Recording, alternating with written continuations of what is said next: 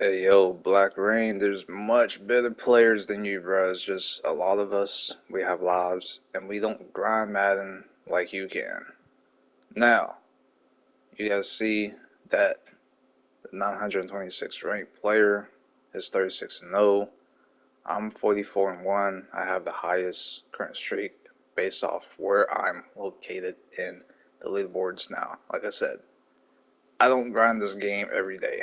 I play about two, or three games, and that's it. Blackreign, man.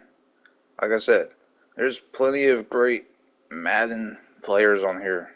It's just a lot of us, we can't or we don't grind the game like you and others do. Now, this is just the PlayStation top leaderboards because that's where I'm currently at.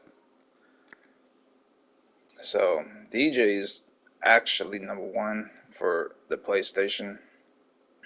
Now, I think he got banned or something, but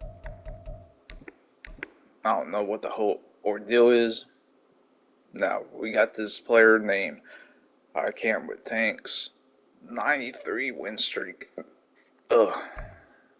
And um Quadzy 72 win streak like we got some dogs on this side. I think to put it in perspective, you need to host some online franchise leagues to really, really see how um, certain players do consistently building a team, and all that stuff. Because honestly, we don't got that time and day to uh, pretty much grind like you do. The record shows for itself for the PlayStation side. I'm not too um, crazy about the crossplay, but it is what it is. Just showing uh, those for the PlayStation perspective. But yeah, just throwing out there. We got some dogs on the side.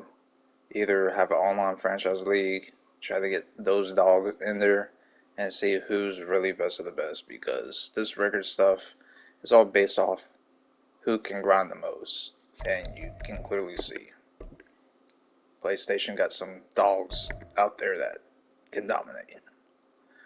Anyways, it's your boy, I'm that Matt. We're back on the common grind. And uh, we're just taking a game at a time. Other than that, let me know what y'all think down below in the comments. See y'all next time. I'm out. Peace.